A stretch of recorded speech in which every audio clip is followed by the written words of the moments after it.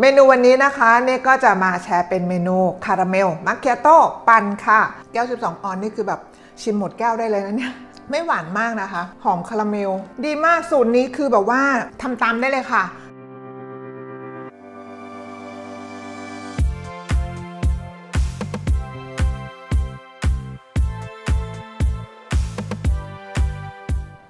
สวัสดีค่ะเนลเรนทัลคอฟฟี่นะคะ ค่ะสำหรับคลิปวันนี้ค่ะเน่ก็จะมาแชร์เมนูอร่อยๆนะคะ แล้วก็เป็นที่นิยมกันมาก ๆ เลยค่ะ เมนูวันนี้นะคะเน่ก็จะมาแชร์เป็นเมนูคาราเมลมัคเคียโต้ปั่นค่ะ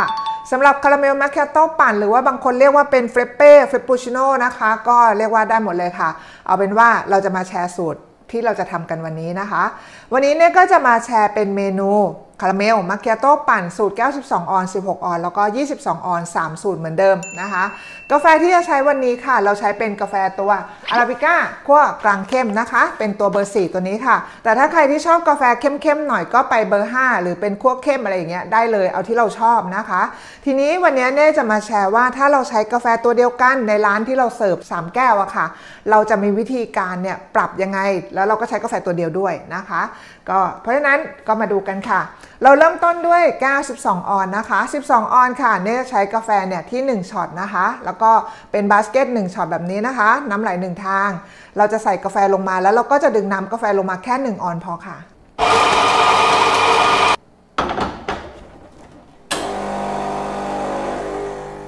น้ำกาแฟที่ 1 ออนซ์ของเรานะคะสำหรับเครื่องชงกาแฟออสการ์นะคะ เวลาที่เราตั้งตาม 1ช็อตที่เราต้องการนะคะ เราก็จะได้น้ำกาแฟที่ 1 ออนตามที่เราต้องการนะคะ นั่นหมายความว่าเราก็ต้องทำช็อตให้ได้ด้วยนะคะ ก็เน่ก็ได้น้ำกาแฟมา 1 ออนเรียบร้อยค่ะ ทีนี้เราก็จะมาเตรียมในส่วนผสมนะคะ เราจะใส่นมสดรสจืดนะคะที่ 100 ml ค่ะอาเทเลย 100 ml นะคะ เสร็จแล้วค่ะ เนี่ยก็จะใส่ตัวไซรัปคาราเมล เพราะว่าเดี๋ยวเราจะทำเป็นคาราเมลมาแคโต้ใช่ไหมไซรัปคาราเมลค่ะ เราจะใส่มาที่ 10 ml เพราะนั้นอันนี้หัวปั๊มก็คือ 7.5 เราจะใส่มาปั๊มครึ่งนะคะ นี่ก็กดมาเลย 1 ปั๊มครึ่ง 1 กับอีกครึ่งหนึ่งนะคะ แล้วเราก็จะต้องมาเพิ่มความหวานมันค่ะ เพราะว่าเป็นเเมนูปั่นนะคะเนี่ยก็เลยจะมีนมผสมค่ะ มาเป็นตัวช่วยเพิ่มความหวานมันนะคะ เราจะใส่นมผสมกันลงมาที่ 20 ml ค่ะเนี่ยก็ใส่นมผสม 20 ml ถ้าใครชอบหวานมากหวานน้อยก็ปรับเพิ่มรสเอาได้เลยนะคะ คนให้เข้ากัน จริงๆต้องบอกว่าสูตรนี้ไม่ได้หวานมากนะคะ ก็จะหวานแบบ กำลังดื่มสบายๆ แต่ถ้าคนชอบทานหวานๆ อาจจะรู้สึกว่าสูตรนี้จืดไปนิดนึงนะคะ ก็เพิ่มเอาเพิ่มนมผสมได้เลยค่ะเนี่ยกาแฟใส่รวมลงไปเลยนะคะ เสร็จแล้วเราก็มาใส่โถปั่นค่ะ ใส่ผงปั่นนะคะ ร้านไหนมีผงปั่นก็ใส่ด้วยค่ะเนี่ยใช้เป็นผงปั่นของดาวินชีนะคะ ใส่ไปประมาณไม่ต้องเต็มช้อนโต๊ะนะคะ ประมาณแบบนี้ค่ะ ไม่ต้องเต็มช้อนตวงช้อนโต๊ะนะคะ แล้วเราก็ใส่น้ำแข็งตามได้เลยค่ะ เนี่ยใส่น้ำแข็ง1แก้วนะคะ เราจะปั่นที่เวลา 25 วินาทีค่ะ เสร็จแล้วก็ปั่นเลยนะคะ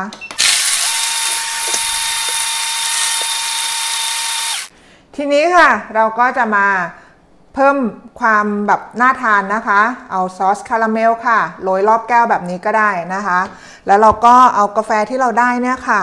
มาเทลงเลยนะคะ ปั่นเนียนกิ๊บ เรียบร้อยค่ะ แล้วเราก็จะมาสร้างความคาราเมล macchiato นะคะ เราไม่ได้ใส่ฟองนมนะคะ แต่ว่าเดี๋ยวเน่จะใส่เป็นวิปปิ้งครีมค่ะเพราะฉะนั้นอันนี้ถ้าใครมีวิปปิ้งครีมก็ใส่ตามไปได้เลยนะคะ แล้วก็โรยด้วยซอสคาราเมลอีกทีนึงค่ะเรียบร้อยค่ะสำหรับเมนูคาราเมล macchiato ค่ะ 12 ออนซ์นะคะ ต่อไปค่ะ เดี๋ยวเรามาทำแก้ว 16 ออนซ์กันบ้างค่ะสำหรับแก้ว 16 ออนซ์เน่จะใช้กาแฟเป็น 2ช็อตนะคะ ก็คือน้ำไหล 2 ทางแล้วก็บาสเกต2ช็อตแบบนี้ค่ะ ใส่กาแฟ 2ช็อตดึงน้ำกาแฟลงมา 2 ออนค่ะ ไล่น้ำนะคะ ก่อนจะใส่ด้ามชง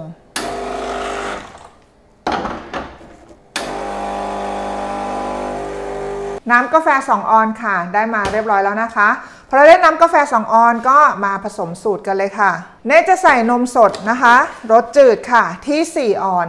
เทลงมาเลยนะคะ 4 ออน 4 ออนหรือว่า 120 ml ค่ะ เสร็จแล้วใส่ไซรัปคาราเมลค่ะ ไซรัปคาราเมลเราจะใส่ที่ 15 ml นะคะ หรือว่า 2 ปั๊มกดนี้นะคะ กดลงไปเต็มๆเลยนะคะ เวลาใช้ปั๊มพวกนี้เนี่ยคือกดให้สุดปล่อยให้สุดนะคะ จะได้เขาเพราะว่าหัวปั๊มเนี่ยเขาตวงปริมาณให้เราเรียบร้อยแล้ว ทีนี้เน่จะเติมนมผสมค่ะ ลงมาที่ 1 ออนค่ะ นมผสมก็คือข้นหวานข้นจืดนะคะ ที่เราผสมกันเอาไว้เนี่ยนมข้นหวาน 2 กระป๋องข้นจืด1กระป๋อง 1 ออนค่ะ เราก็ใส่รวมลงไปเลย แล้วก็คนให้เข้ากัน พอคนเข้ากันเรียบร้อยแล้วค่ะ เทลงไปได้เลยนะคะ แล้วเราก็เทกาแฟ 2 ออนของเราค่ะ ตามลงไปได้เลยค่ะ ถ้าร้านเรามีผงปั่นก็ใส่ผงปั่นลงไปค่ะ จะได้เพิ่มความเนียนของเครื่องดื่มนะคะ 1 ช้อนตวงหรือว่า 1 ช้อนโต๊ะค่ะ เสร็จแล้วเราก็ใส่น้ำแข็ง 1 แก้วได้เลยค่ะ เอาแก้วที่เราใช้นี่แหละตวงเลย เอาเต็มแก้วพอนะคะ เพราะว่าเดี๋ยวเราจะเผื่อพื้นที่เอาไว้สำหรับใส่วิปครีมด้วย เนี่ยก็ปั่นที่ 25 วินาทีเหมือนเดิมค่ะ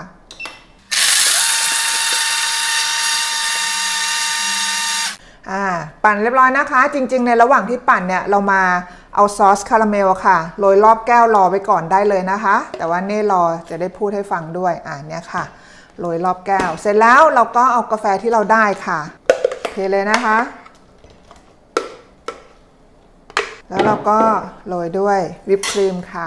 ก็ร้านไหนมีวิปครีมก็ใช้เลยนะคะ ของเน่คือใช้เป็นวิปครีมสำเร็จรูปค่ะ มาทำให้ดู เดี๋ยวโรยซอสคาราเมลนะคะอ่าก็แล้วแต่เราเลยค่ะ เราจะโรยเป็นแบบรูปอะไรอืมเรียบร้อยค่ะ กับคาราเมล macchiato ปั่นจ้าแก้ว 16 ออนซ์นะคะอะเรียบร้อยแล้ว ทีนี้เดี๋ยวเรามาดูแก้ว 22 ออนซ์กันบ้างค่ะสำหรับสูตรแก้ว 22 ออนซ์นะคะ ก็ถ้าเราใช้กาแฟตัวเดิมทั้งร้าน พอเป็น 22 ออนซ์เราจะใช้กาแฟที่ 3ช็อตค่ะ แต่ถ้าเราใช้กาแฟที่เข้มขึ้น เราก็ใช้ 2ช็อตเหมือนเดิมนะคะ แต่สุดท้ายแล้วเราจะได้น้ำกาแฟลงมารวมกันที่ 3 ออนซ์ค่ะ เพราะฉะนั้นหมายความว่าถ้าใครที่ใช้เป็นด้ามชงน้ำไหลสองทาง ที่เป็นแบบกาแฟเข้มขึ้นก็ใส่กาแฟมา 2ช็อตนี่แหละ แล้วก็ดึงน้ำกาแฟมา 3 ออนซ์นะคะ แต่ทีนี้ของเน่เนี่ยคือเราใช้กาแฟตัวเดิม ร้านเราใช้กาแฟตัวเดิม ทุกแก้ว เราก็เลยจะใช้เป็น 3ช็อตไปเลยค่ะ เริ่มต้นด้วย 2ช็อตนะคะ เดี๋ยวเน่ก็จะดึงน้ำกาแฟ 2ช็อตเนี่ย2ออนซ์ แล้วก็เดี๋ยว1ช็อตอะค่ะที่ 1 ออนซ์ก็จะรวมกันได้ 3 ออนซ์นะคะ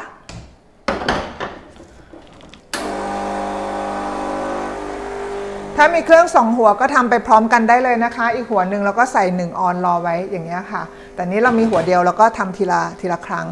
แต่ก็คืออันนี้เน่มาแชร์ให้ในกรณีที่เราใช้กาแฟตัวเดียวกันนะคะ ให้เข้าใจตรงกันนะ สาเหตุที่เราต้องเพิ่มกาแฟค่ะ เพราะว่าไซส์ไซส์ของแก้วเราเพิ่ม พอไซส์แก้วเราเพิ่มอะค่ะ ถ้าเรายังมาใช้กาแฟที่เท่าเดิมเนี่ยแล้วเราดึงน้ำกาแฟอย่างเดียวอะค่ะ สมมติบางคนบอกว่าเอ้ยอยากใช้ 16 ออนซ์ แล้วก็มา 22 ออนซ์ กาแฟตัวเดียว แล้วก็แค่เพิ่มน้ำกาแฟได้ไหมอันนี้ไม่แนะนำนะคะ คือคุณจะต้องเปลี่ยนกาแฟให้เข้มขึ้น หรือไม่งั้นก็คือเพิ่มช็อตกาแฟขึ้นมาอีก1ช็อตค่ะ กาแฟเราต้องเข้มข้นขึ้นนะคะ อ่าเมื่อกี้เราได้ 2 ออนซ์มาแล้วนะคะเนี่ยก็มาเพิ่มอีก 1 ออนซ์ค่ะ ก็คือใช้ด้ามชง 1ช็อตนะคะอ่าทีนี้เราก็ด้ามชง 1ช็อตนะคะ ใส่ไปเอาอีกเพิ่มอีก 1 ออนซ์รวมเป็น 3 ออนซ์ ตอนนี้นะคะน้ำกาแฟ 3 ออนของเน่ได้มาเรียบร้อยแล้วค่ะ เดี๋ยวเรามาทำสูตร22ออนกันนะคะ 22 ออนค่ะเน่ก็จะมาเตรียมนมสดที่ 150 ml หรือว่า 5 ออนค่ะ ก็ใส่มาเลยนะคะ แล้วเราก็จะใส่ตัวไซรัปคาราเมลค่ะ ลงมาที่ 20 ml 20 ml ก็คือประมาณ 3 ปั๊มนี่แหละ อันนี้ก็จะเกินนิดหน่อยนะคะ ก็ตีให้ว่า 3 ปั๊มนะคะ ถ้าใครไม่ได้เป็นหัวปั๊มแบบนี้ก็เทไปค่ะ 20 ml แล้วเราก็จะใส่นมผสมนะคะ เพิ่มความหวานมันค่ะที่ 1 ออนครึ่ง 1ออนครึ่งเนี่ยก็ใส่มาเลยนะคะ1ออนครึ่ง ก็คือนมข้นหวาน 1 ออน แล้วก็นมข้นจืดครึ่งออนที่ผสมกันเอาไว้เรียบร้อยแล้วค่ะ เสร็จแล้วเราก็คนให้เข้ากันเทเลย แล้วก็กาแฟ 3 ออนของเราค่ะ เทตามไปเลย น้ำแข็งเต็มแก้วค่ะ แก้ว 22 ออนนะคะ22 ออน น้ำแข็งเต็มแก้ว นี่นะคะ เต็มแก้ว แล้วเราก็ปั่นได้เลยค่ะ 25 วินาทีเหมือนกันนะคะ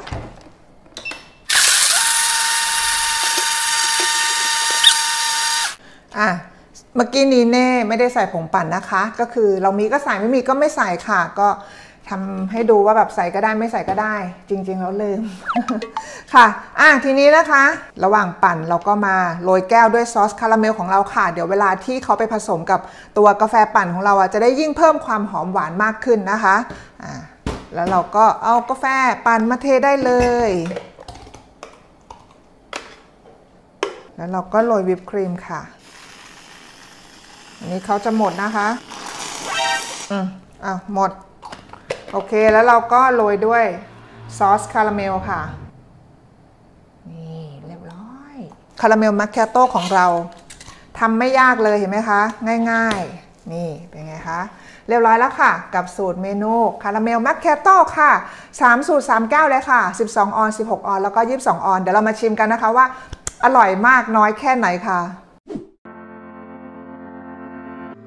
เริ่มต้นที่แก้ว 12 ออนซ์นะคะ เราชิมวิปครีมก่อนดีกว่า มีความมีซอสคาราเมลดีมาก ซอสคาราเมลเขาของดาวินชีค่ะ เขาหวานหอมเลย อืมคือ ดาวินชีเนี่ยเขาจะเป็นเป็นแบรนด์ที่แบบว่าทำพวกซอสพวกไซรัปอะค่ะได้รสชาติคือจะหวานละมุนนะคะ คือจะออกแนวแบบละมุนนุ่มหวาน แล้วก็ได้ความแบบ flavor ค่อนข้างแบบคือดีเลยนะคะอร่อยอะแก้ว 12 ออนซ์นี่คือแบบชิมหมดแก้วได้เลยนะเนี่ย เพราะว่าหนึ่งคือกาแฟเขาจะไม่ได้ดูเข้มมาก อันนี้คือสายแบบสายชอบหวานนะคะ แล้วก็หอมคาราเมล กาแฟเบาๆ ดีงามมากเลยค่ะ แต่ว่ากาแฟตัวนี้เขาไม่ได้ drop นะคะเขาไม่ได้ว่าแบบเฮ้ยกาแฟจมไม่ได้จมนะ แต่เพียงแต่ว่ามันได้ความกาแฟมาเบาๆนั่นเองหอมอยู่ในปากเลยทั้งกาแฟทั้งคาราเมลเลยค่ะ พอมาแก้ว 16 ออนซ์บ้าง อันนี้เราใส่กาแฟ 2ช็อตนะคะ คือชอบความแบบวิปครีมน่าทานมากเลยนะอืมอร่อย อร่อยอะไม่หวานมากนะคะ แล้วก็หอมคาราเมล เข้มกาแฟ อืม ดีมากสูตรนี้คือแบบว่า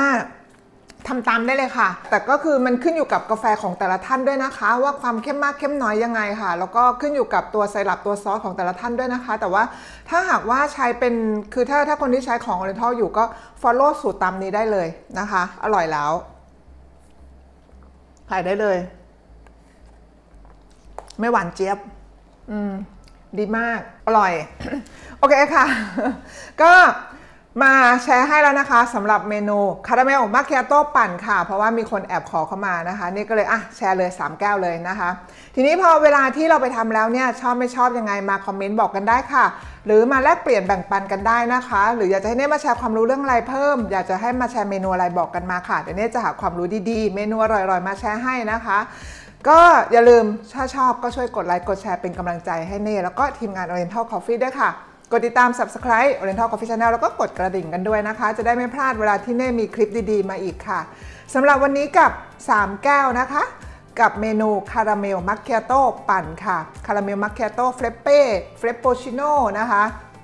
ก็จัดให้เรียบร้อยแล้วค่ะ ไปลองทำตามกันดูได้เลยค่ะ แก้ว 12 ออน 16 ออน แล้วก็ 22 ออนค่ะ ขอบคุณมากที่ติดตามกันเข้ามานะคะ ขอบคุณค่ะ